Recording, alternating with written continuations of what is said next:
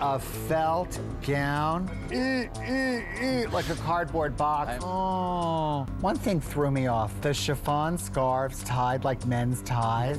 Why did she add that? It's costumey. This tunic with the V point. Yeah. I felt a little Robin Hood. I was kind of like, oh my God, the art teacher's on an acid trip. This, it's, you know, Betty White on Dancing with the Stars. I mean, oh, it's old.